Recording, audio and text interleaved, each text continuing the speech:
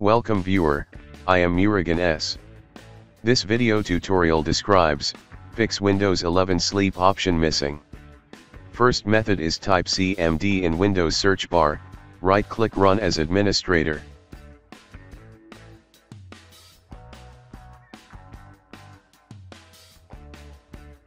Click power options.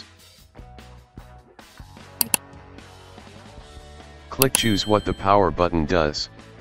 Click change settings that are currently unavailable. Check sleep option, click save changes.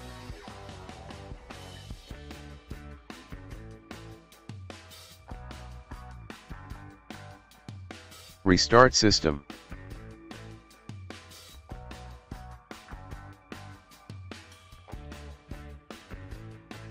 Second method is click search icon, type CMD in Windows search bar, right click run as administrator.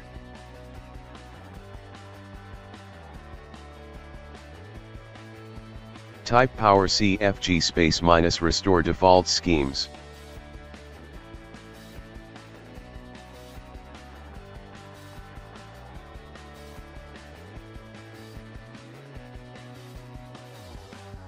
Exit and restart system.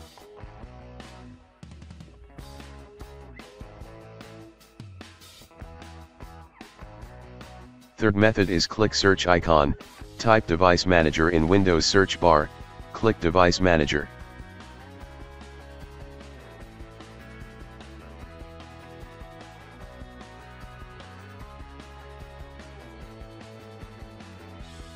Click and expand display adapter, right click display adapter, click update driver. Click search automatically for drivers, click next. Click updated drivers on Windows Update.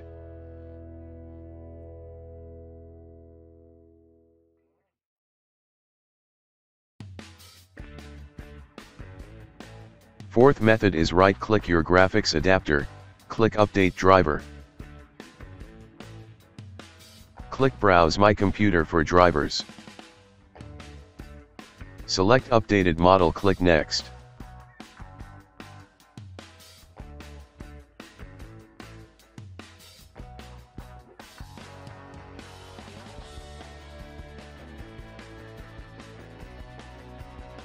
Fifth method is click search icon, type msconfig in Windows search bar, click System Configuration.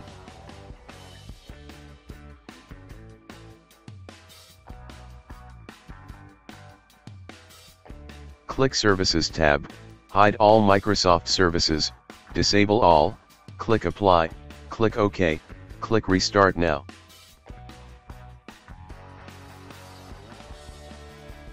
Sixth method is, open any browser and go to graphics card manufacturer website. Other graphics card manufacturer URLs are given in description.